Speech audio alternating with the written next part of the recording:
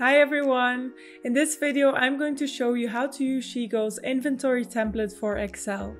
If you run a small business, retail store, or a manufacturing or catering business, this template gives you a quick and reliable way to track your stock levels and automate inventory management in your company. Unlike a regular Excel template, the Sheetgo workflow consists of separate but connected Excel files, and data flows between them via Sheetgo connections. These Sheetgo connections enable you to automate data transfer between different files, so that means that you can create your own inventory control system without any specialist software, just spreadsheets. A spreadsheet based system like this is very easy to scale. As your business grows, you simply can connect more files to your workflow. And if you already manage other parts of your business in Excel, such as sales or accounting, you can simply connect them to this inventory workflow to create an integrated data management system. Plus, when you have multiple colleagues working in the same workbook, it can become very heavy and slow. Plus, there's a higher chance of errors. A workflow with separate Excel files is lighter to process. It also gives you more data accuracy and privacy since each colleague has their own workbook to work in.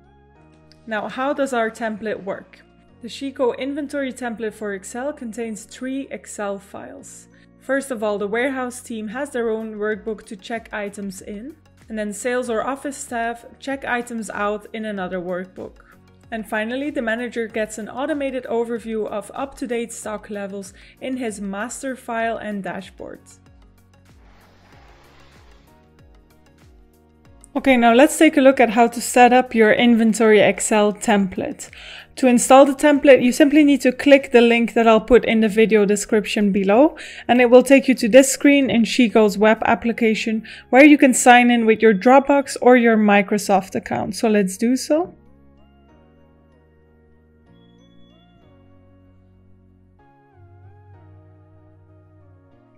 There we go. And now you simply click on use template to add it to your personal drive. Sheetgo has now saved copies of these files in your personal OneDrive, or of course if you have a corporate account, then it's OneDrive for Business which is inside SharePoint, as you can see on the icons of my template files. So this is the workflow view of our inventory template in Excel. You can either double click on these spreadsheet icons to open them in your browser, so the online versions of the file. But if you want to work in your desktop in this specific template, that's also possible. So I'm going to show you how. I'm going to open my OneDrive on my computer. There we go. And you see that we have a folder named Sheetgo templates. Here's where you'll find your inventory system. As you can see, we also find the three spreadsheets here, the master sheet, the check-in and the checkout file. Let me open and show you the master sheet. There we go. The master spreadsheet, the inventory management file, contains three main tabs. Currently we're in the instructions tabs and here you'll find the steps to set up the template again.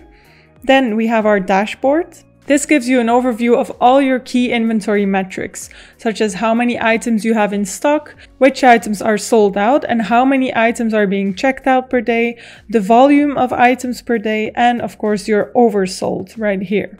Then the third tab is the current inventory list. This is where all your inventory data from your separate check-in and check-out spreadsheets is imported and combined via the Sheetgo connections from your workflow. So here you can quickly check current stock levels for specific items. You should not edit this tab because this is an automated calculation and a connection from the Sheetgo workflow. Then there's the last two tabs, check-in and check-out. This is the exact file that Sheetgo brings imports from your check-in and check-out spreadsheets. So you should also not edit those. The last few tabs are some data preparation tabs where we use functions to prepare the dashboard. But let me now open the check-in file to show you how you can fill it out.